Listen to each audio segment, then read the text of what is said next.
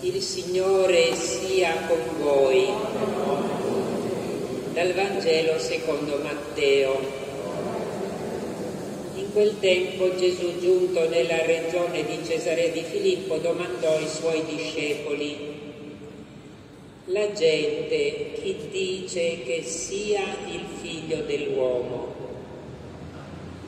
Risposero, alcuni dicono Giovanni il Battista, altri Elia, altri Geremia o qualcuno dei profeti. Disse loro, ma voi chi dite che io sia?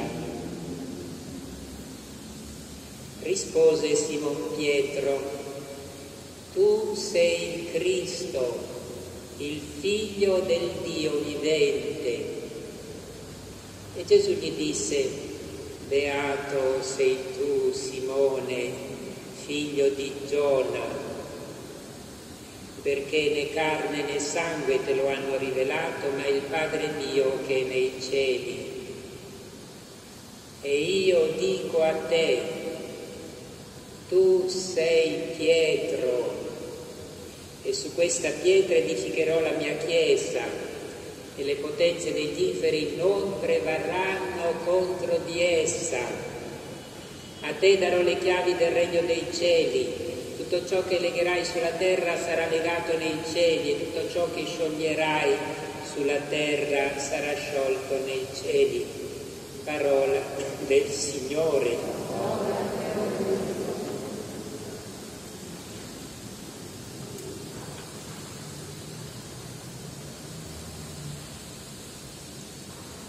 Sarebbe bello che sentissimo, rivolta a noi stessi, la domanda che Gesù fa agli Apostoli. Voi chi dite che io sia? Gesù stamattina dice, tu chi dici che io sia, o meglio, chi sono io per te? Chi sono io per te? Questa è una domanda veramente profonda e importante per Gesù. Chi sono io per te? Sono qualcuno che tu cerchi, con cui parli, a cui ti affidi, che cerchi di ascoltare, o solo un nome così vago di cui ho sentito parlare quando vado in chiesa. Chi sono io per te?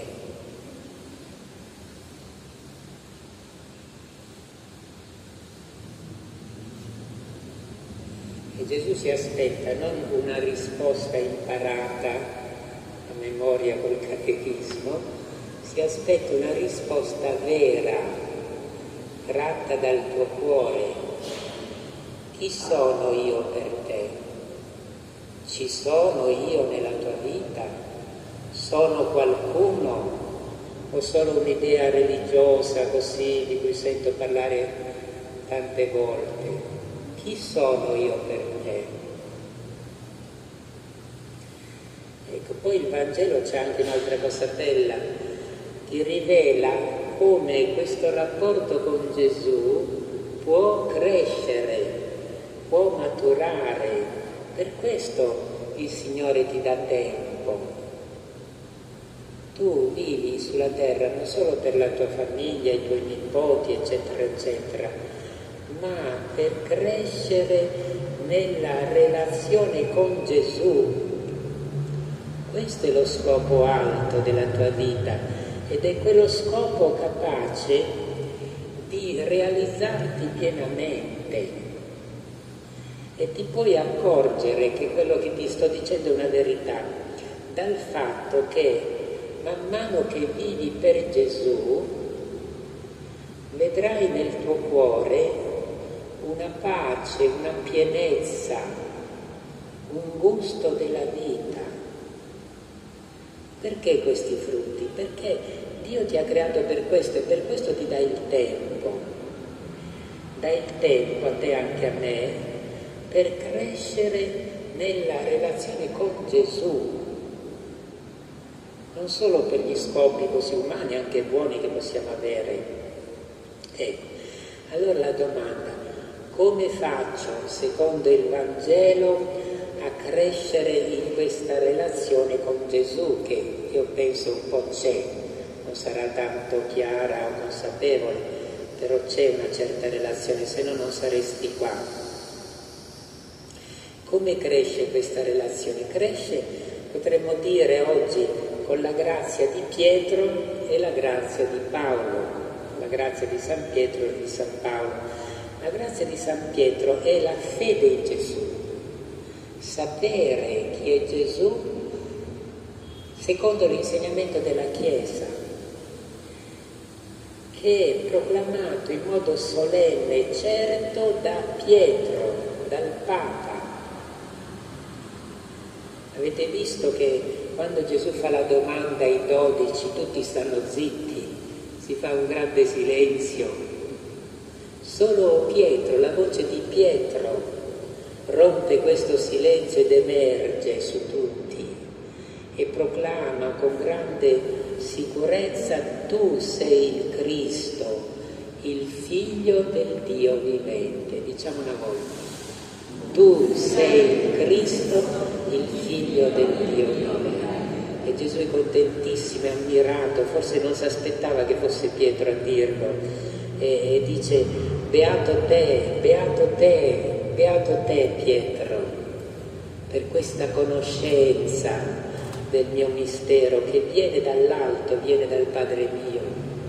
Ecco, questo è il primo eh, punto per crescere nella relazione con Gesù, sapere chi è e dalla Chiesa tu vieni a conoscere Gesù e specialmente da Pietro, dal Papa, che ha questa grazia di proclamare con sicurezza il mistero di Gesù. Questo è il motivo per cui noi non dobbiamo mai staccarci dalla Chiesa e dal Papa, mai. Quando succede qualcosa che ti mette in dubbio la tua adesione a Chiesa e devi respingerla con una grande tentazione, perché una volta che il demonio ti stacca dalla Chiesa, ti distrugge, ti porta verso una visione illusoria della vita, della salvezza. Infatti Gesù cosa dice? A te do le chiavi del regno dei cieli, le porte degli inferi non prevarranno contro di essa. La grande forza di salvezza Dio la mette nella Chiesa contro il male, lo vediamo dalla storia con tante cose interne e esterne negative, la Chiesa va sempre avanti da duemila anni e ci sarà sempre fino alla fine del mondo perché c'è questa presenza forte di Gesù e noi godiamo della forza di salvezza in quanto siamo uniti alla Chiesa. Gesù non ha detto le, le porte degli inferi non prevarranno contro di te, ha detto non prevarranno contro di lei, contro la Chiesa. Se tu ti stacchi dalla Chiesa rimani con la tua grande debolezza. Ecco perché noi dobbiamo lottare contro le tentazioni e anche tanti difetti che nella Chiesa ci sono, a volte ci sono anche cose brutte, e poi dobbiamo essere unitissimi al Papa, unitissimi.